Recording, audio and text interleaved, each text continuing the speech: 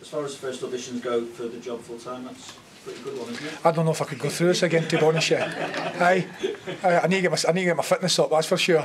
The way I was running up and doing the touchline. Look, it was just it was just one game at a time for me. That was it. You know, I, I got asked to come in and step in for Everton. I would never ever turn down Everton Football Club. But I'm also unrealistic as well. It was it was the game. I made up. I'm delighted for the fans. Three points is massive